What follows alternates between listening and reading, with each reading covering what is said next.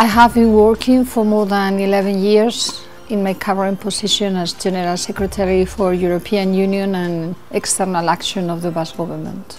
In my position, I deal with different people from different countries and different backgrounds, and sometimes, in some people's eyes, uh, women's opinion don't seem to have the same credibility men's opinions have. When that happens, I just keep going, and the other person usually gets adapt, uh, adapted to the situation. In the Basque country, we have been working for decades to achieve equality between men and women in all areas, politics, economic, uh, social life or culture.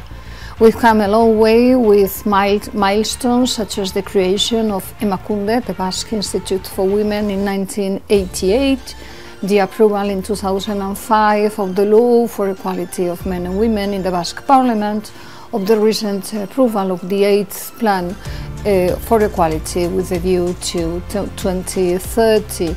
Obviously, we still have a long way to go, but the foundations are solid and the purpose is clear and widely shared by the Basque society.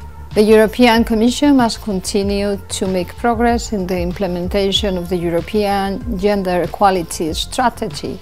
We need a European framework that promotes lives free of violence against women, that contributes, contributes to dismantling the stereotypes, and that allows us to move uh, towards effective equality of opportunity for women to participate, but also to live on equal terms in every single range of our lives.